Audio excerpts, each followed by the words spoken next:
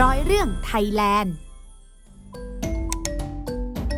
หากใครมาเยือนจังหวัดสมุทรสงคราม ต้องไม่พลาดแวะเที่ยวที่วัดบางกุ้ง เพราะที่นี่เป็นหนึ่งในอันซีนไทยแลนด์ ซึ่งความมหัศจรรย์ของที่นี่อยู่ที่โบสถ์ปรกโพ โบสถ์เก่าแก่ที่ถูกปกคลุมด้วยต้นไม้ใหญ่ 4 ชนิด ได้แก่ต้นโพ ต้นไทร ต้นไกร และต้นกลาง ที่ช่วยยึดให้โบสถ์แห่งนี้คงอยู่ได้จนถึงทุกวันนี้ภายในโบสถ์ยังประดิษฐานหลวงพ่อพุทธมณีนิน หรือหลวงพ่อดำ พระพุทธรูปปั้นปางมารวิชัย สมัยอยุธยาตอนปลาย ซึ่งเป็นที่เคารพศรัทธาของผู้คนจำนวนมาก